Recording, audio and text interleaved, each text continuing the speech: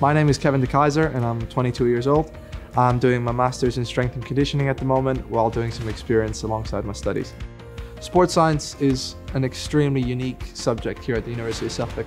From year one, you get so much experience with all the different equipment we have and it's an incredible experience because whether you go into clinical practice or whether you work in elite sport, learning a lot of the little details that are necessary to work with this equipment will put you in good stead when you're looking for employment.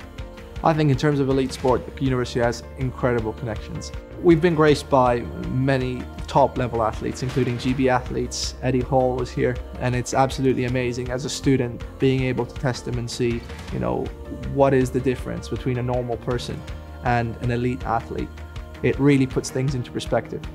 We've also got students on placement at Champions League clubs, and as I mentioned earlier, you need to be in those environments if you want to work in those environments.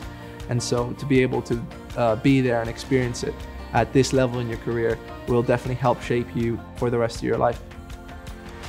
When I first started off here, I was probably the most ambitious student and it's been met with so much enthusiasm and support. The tutor's expertise and knowledge has really helped me uh, develop into what I am today. And that's both from the sports science perspective, but also from the coaching perspective.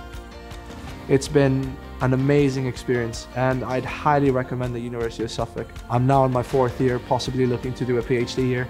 So I'd be here for seven years, basically a part of the furniture, but I wouldn't have it any other way. It's been an incredible experience, both from an educational perspective, but also from a personal growth perspective.